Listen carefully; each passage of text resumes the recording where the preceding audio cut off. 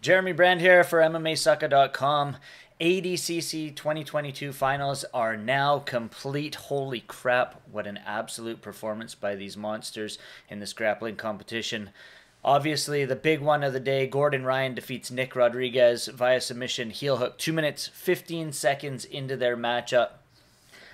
The King moves on to the super fight later this evening against Andre Galvao so he could win his division win the super fight, become the greatest ADCC champion ever, if that's the case. Otherwise, Andre Galvao takes the cake.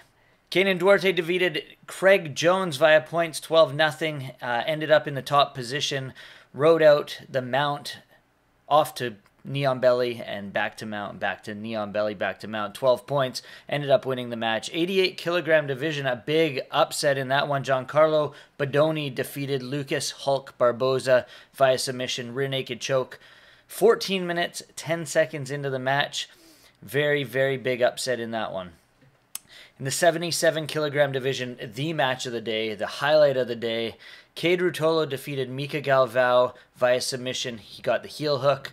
Uh, it was a back and forth battle. Mica was on his back for the majority of the matchup, with Kade trying to pass his guard, trying to slice through, was going for multiple submissions, looking to lock up that Darce. Went for the wrist lock, ended up grabbing a hold of the heel as Mica slid that far leg through the midline snatched it up, became the youngest ADC champ in history. In the 66 kilogram division, Diogo Reis Baby Shark defeated Gabriel Sosa via points 3 0. Another back and forth battle, and Diogo Reis ended up taking the cake to become the 66 kilogram division winner. In the women's 60 kilogram division, I picked this one.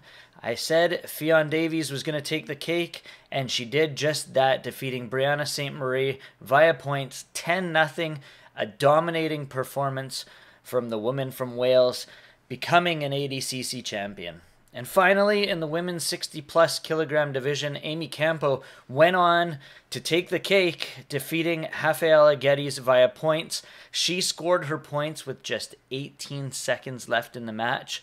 Uh, finally, getting the hooks in from the back, which she controlled for about two and a half minutes, sinking in that last hook to get both hooks in, sealing the deal, becoming the women's 60 plus kilogram ADCC champion, and a very, very touching speech she had afterwards.